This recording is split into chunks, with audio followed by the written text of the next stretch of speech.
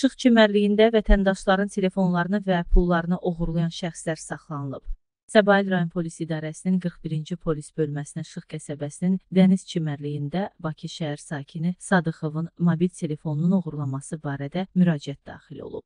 Polis əməkdaşlarının keçirdikləri əməliyyat tədbiri nəticəsində oğurluğu törətməkdə şübhəli bilinən Cəlilabad rayon sakini əvvəllər məhkum olunmuş Əsədov tutulub.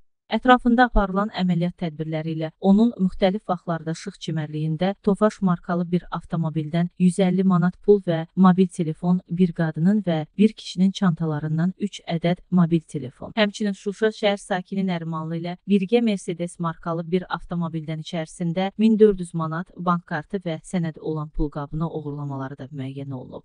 Əməliyyat tədbirləri ilə Nərimanlıda polis əməkdaşları tərəfindən saxlanılıb. Faktla bağlı araşdırma aparılır.